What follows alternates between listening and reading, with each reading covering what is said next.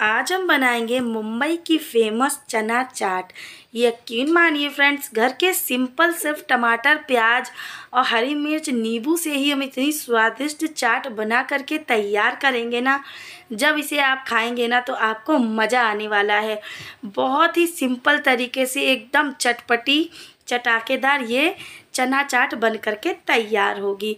यकीनन फ्रेंड्स आप इस तरीके से घर में बना लेंगे ना तो बाहर की चना चाट या फिर चाट खाना भूल ही जाएँगे। तो चलिए भाई शुरू करते हैं। दोस्तों कामिनी के किचन में आप सभी का बहुत बहुत स्वागत है।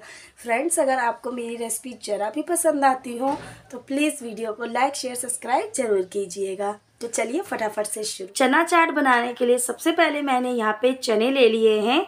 तो फ्रेंड्स, यहाँ पे मैंने 250 ग्राम के करीब चनों को रात में भिगो दिया था। तो फ्रेंड्स, मैंने क्या किया था? मेरे यहाँ बरगदाही पूजा होती है तो इसीलिए मैंने रात में जो है चनों को भिगो दिया था, क्योंकि सवेरे पूजा करनी होती है। तो बरगदाही पूजा जो लोग करते होंगे, यानी जो लेडीज़ें करती होंगे, उन्हें पता है कि चनों का उसमें यूज़ होता है। तो मैंने थोड़े से ज़्यादा भिगो दिए थे, क्योंकि शाम को मैं बनाने वाली थी चना चाट। तो यहाँ पे मैंने देसी वाले चने का यूज़ किया है जो छोटे साइज़ में होते हैं। तो रात भर भिगो दिया है और बहुत ही अच्छे से ये फूल करके तैयार हो गए हैं। चलिए फटाफट से दो से तीन बार अच्छे से मैंने इन्हें धो लिया है। साफ़ पानी इनमें डाल दिया है। तो चलिए अब यहाँ पे हम ले लेंगे एक कुकर। तो कुकर में हम सारा पानी और चने दोनों को डाल देंगे क्योंकि पानी मैंने धो लिया है साफ़ पानी है। अगर नहीं धोया हो तो आप यहाँ पे धो करके साफ़ पानी डाल दीजिएगा। तो पानी की क्वांटिटी आप देख सकते हैं, मैंने चने के थोड़ा सा ऊपर ही रखी है। ज़्यादा पानी नहीं भरना है, क्योंकि पानी हमें इसमें उबलने के बाद में नहीं चाहिए। तो चलिए फटाफट से थोड़ा सा नमक डाल दिया। मैंने थोड़ा ही नमक डालना है क्योंकि आगे जब हम इसे बनाएँगे ना तो थोड़ा बहुत नमक हम इसमें और ऐड करेंगे। तो पहले से ही कम डालिएगा। चलिए इसे कवर करके चढ़ाते हैं गैस पे। तो यहाँ पे मैंने हाई फ्लेम पे एक सीटी लगा ली है और दो तीन सीटी लो फ्लेम पे लगा ली है। चलिए भाई, जब प्रेशर अच्छे से रिलीज़ हो गया था तब यहाँ पे मैंने चने हमारे अच्छे से पक गए हैं और यहाँ पे मैंने इस तरीके की चलनी होती है ना उसमें मैंने इस तरीके से इन्हें निकाल दिया है। तो देखिए चने अच्छे से हमारे उबल करके तैयार हैं बहुत अच्छे से मैश भी हो रहे हैं। पानी को फ्रेंड्स फेंकिएगा नहीं मैंने उसे आ, मतलब ग्रेवी में यूज़ कर लिया है या फिर आटा भी गूंद सकते क्योंकि चने का पानी बहुत ही पौष्टिक होता है। तो चलिए अब यहाँ पे एक चम्मच मैंने ली है लाल मिर्च। साथ में आधा चम्मच से भी कम गरम मसाला लिया है थोड़ी सी हल्दी पाउडर आधा चम्मच से भी कम ली है, एक चम्मच भर के धनिया पाउडर ले लेंगे।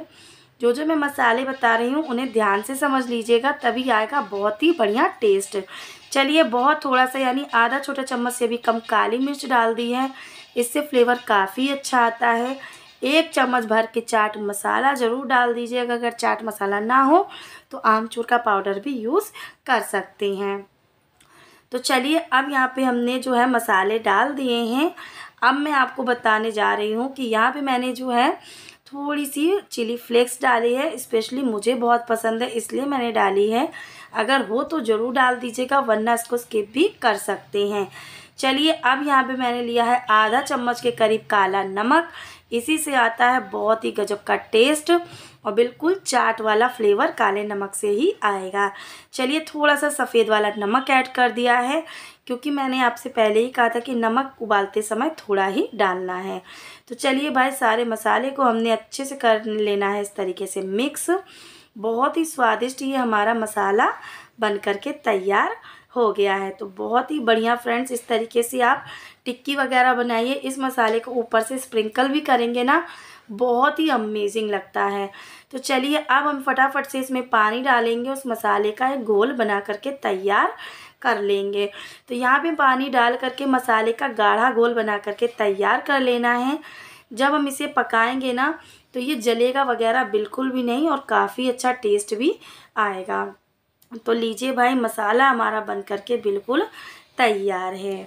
तो चलिए फटाफट से मसाला तैयार है, फटाफट से चलते हैं बनाने के प्रोसेस में। तो यहाँ भी सबसे पहले मैंने एक पैन ले लिया है, आप इसे कढ़ाई में भी बना सकते हैं। चलिए एक टेबल स्पून सिर्फ़ एक टेबल स्पून ही सरसों का तेल डालना है।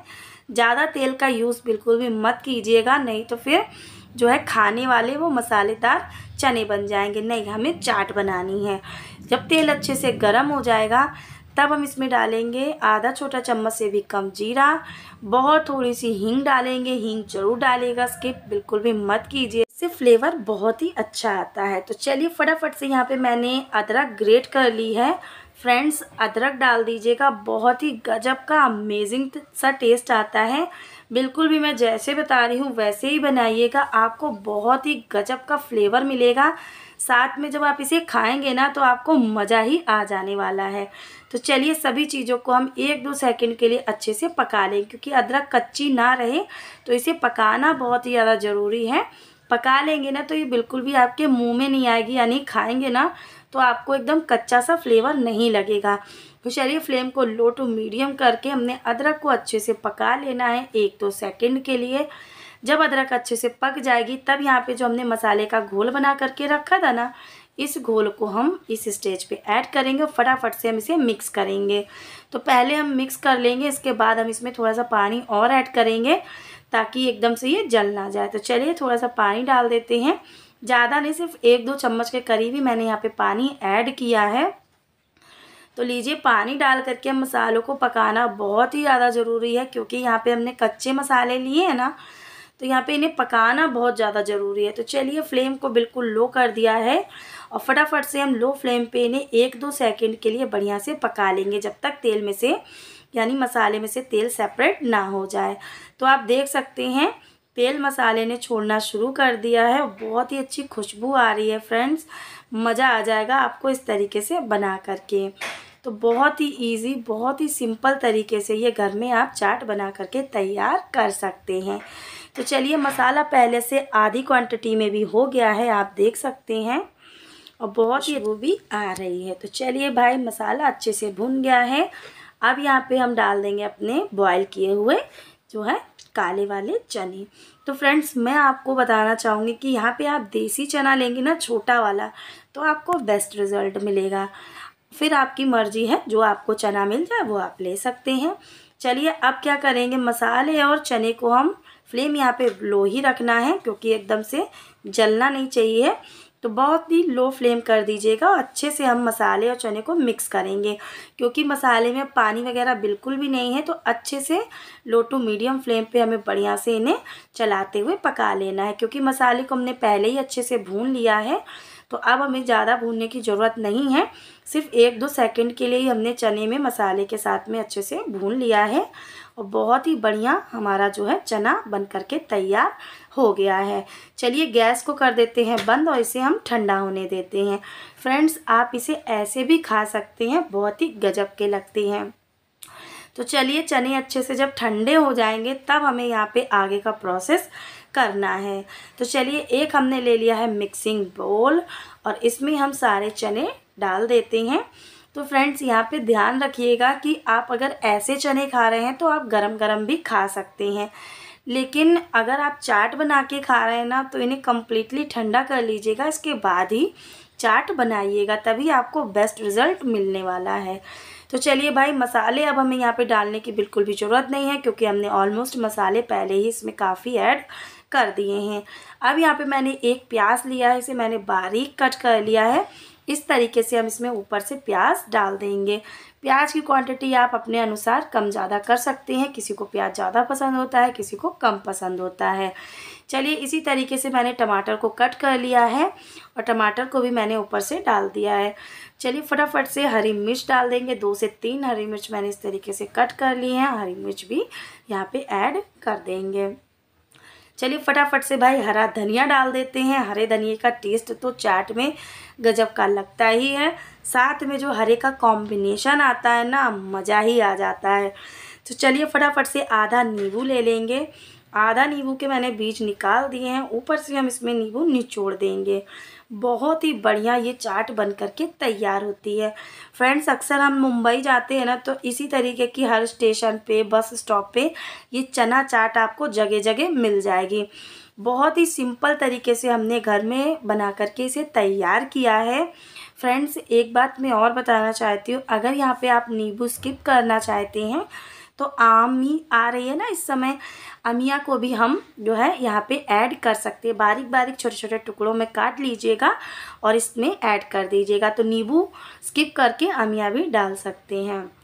तो चलिए भाई, चना चाट को हमने अच्छे से कर लिया है मिक्स अब हम इसे कर लेते हैं सर्व इसी तरीके से दुन्ने में देते हैं ना फ्रेंड्स मुंबई वगैरह आप गए हों तो आपको ज़रूर इसका टेस्ट पता होगा। लेकिन आज हमने इसे बनाया है बिल्कुल कम सामान से, घर में, घर के सिंपल सामान से। टेस्ट तो इतना गजब का आएगा ना फ्रेंड्स जब आप इसे खाएँगे तो आपको खुद ही मालूम पड़ जाएगा। तो चलिए भाई, इसकी हम कर लेते हैं प्लेटिंग बहुत ही टेस्टी फ्रेंड्स ये चना चाट बन करके तैयार होती है। भाई, मेरे घर में तो सब इसे बहुत ही एंजॉय करके खाते हैं। आपको ये चना चाट कैसी लगती है, आपको मुझे कमेंट्स करके ज़रूर बताइएगा। तो चलिए भाई, चना चाट तो हमारी सर्व है, आप इसे ऐसे ही खा सकते हैं। लेकिन जब हम स्टेशन पे खाते हैं ना तो वो थोड़ी सी इस तरीके से महीन वाली जो नमकीन आती है ना, वो उसके ऊपर थोड़ी सी स्प्रिंकल कर देते हैं।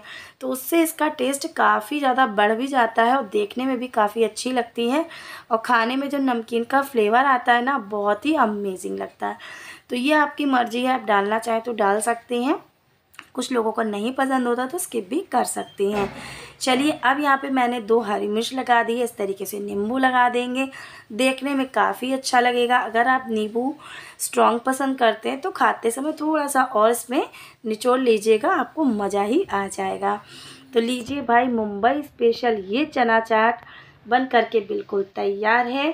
फ्रेंड्स घर के ही कुछ सामानों से मैंने इसे बनाया है। तो फ्रेंड्स, आपको मेरी मेहनत, मेरी रेसिपी कैसी लगती है, मुझे कमेंट्स करके ज़रूर बताइएगा। फ्रेंड्स, मैं आपके लिए बहुत मेहनत करती हूँ, बहुत ही कम सिंपल सामान से आपको नया टेस्ट और बहुत ही गजब का मतलब बताती हूँ कि किस तरीके से कम सामान से हम बहुत ही अच्छा टेस्ट जो है ला सकते हैं अपनी रोज़ वाली रेसिपीज़ में। तो चलिए भाई, ये मुंबई स्पेशल चना चाट तो मैं तो चली इसे खाने क्योंकि भाई मुझसे तो नहीं हो रहा है कंट्रोल और आप मुझे कमेंट्स करके ज़रूर बताइएगा कि आपको ये रेसिपी कैसी लगी और आप इसे कब बना रहे हैं।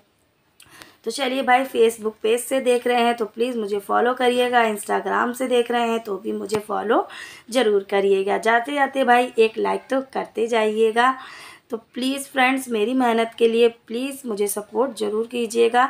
लाइक सब्सक्राइब शेयर ज़रूर कीजिएगा। तो चलिए भाई मैं तो चली इसे खाने। अमेजिंग हम्म, फ्रेंड्स बहुत ही टेस्टी बनी है। तो देरी किस बात की? जल्दी जाइए बनाइए खाइए और अपने अनुभव मेरे साथ ज़रूर शेयर कीजिएगा। मिलते हैं अपने नेक्स्ट वीडियो तब तक के लिए बाय एंड टेक